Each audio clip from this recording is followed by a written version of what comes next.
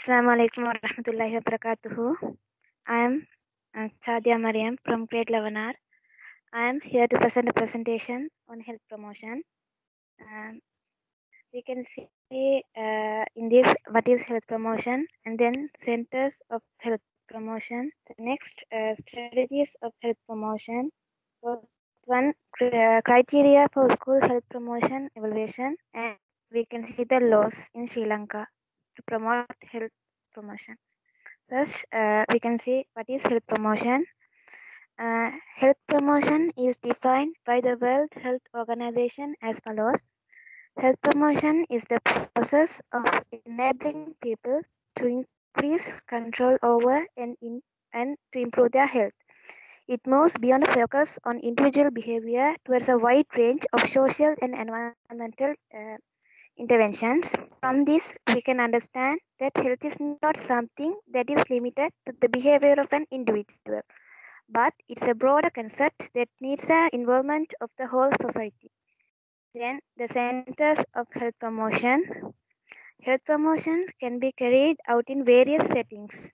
Some of they are our school, village, city, hospital, workplace, and our home is also including this we can convert them as health promoting centers. Then the strategies of health promotion. There are some methods of health promotion. They are the first one, formulation of policies relevant to health. Then second, build a health promoting environment.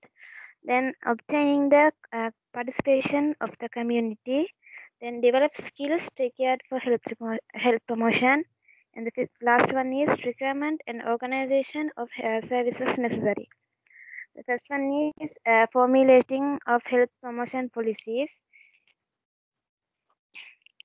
Um, some actions can be done to develop school health promotion. Um, for this uh, formulation of health promotion is the best. Uh, we should identify the uh, current issues faced and reduce methods of these factors for this. Uh, some school health promoting policies uh, I have listed below.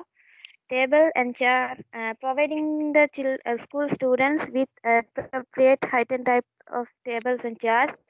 Uh, provide them with healthy, healthy food and uh, available of clean drinking water in the school environment.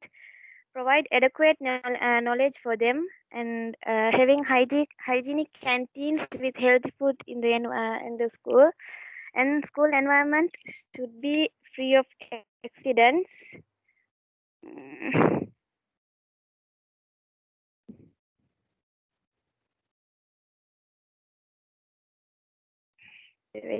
And then uh, conducting dental services for students uh, age 12 and below. And font sizes and colors in the school books should be different from age to age. Then build a health promoting environment. Mm.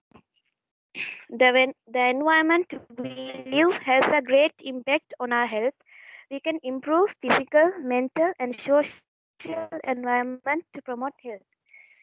To, uh, to help, we should improve facts in physical environment. Some of them are having clean drinking water, proper disposal of garbage in the environment, classrooms with adequate light and ventilation, adequate facilities for sports in the school, engaging in school garden, and adequate toilet facilities.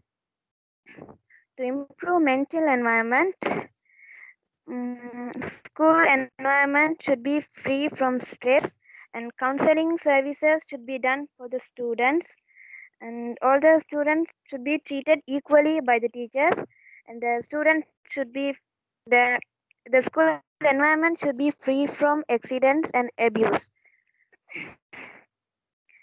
to improve social environment we should safeguard democracy and there should be clubs present in schools like science club english clubs etc and we should provide opportunities for sport activities and there should be availability of space for group activities in the school and there should be there should be a healthy relationship uh, maintained between teachers and students.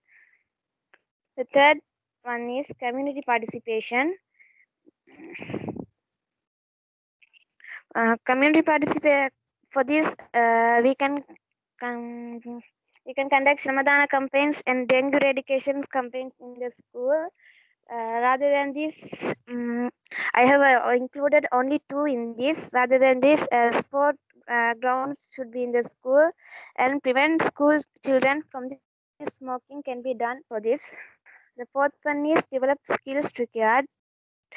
Uh, the, this helps to improve skills to develop health promoting behaviors. To improve the health state, some behavioral modifications are required. Developing skills like consuming healthy meals, face and manage stress successfully, and following an active lifestyle are essential for health promotion. These skills can be developed by provide knowledge through books, educational workshops, group competitions, conducting debates, and sport competitions. The fifth one is provision of required services for health promotion. Mm, the government carries out school health uh, inspection to improve the health status of the school children. Some of them are providing iron and folic acid tablets, annual school sanitation survey, provide adequate sanitary facilities, and implementing new services for newly identified needs. At last, uh, criteria for school health promotion evaluation. Uh, some uh, some of um, school accepting the need to follow established health policies, recognition of health policies that can be carried out by students, identifying methods of carrying out these health policies are some of the um, criteria that can conduct in the school to improve health promotion. Mm, Some laws are from uh, established in Sri Lanka to improve health promotion. Uh, some of they are compulsory free education from grade 6 to 9, compulsory provision of health facilities. Uh, in this, uh, ensure well is protected and create an accident-free environment and carry dengue eradication programs. Examples and prohi- prohibit the consumption or the sale of unhealthy food. And at last, uh, prohibit the possession of use of cigarettes and alcohol and drugs. Uh, we should prevent school children from using this. Mm, thank you.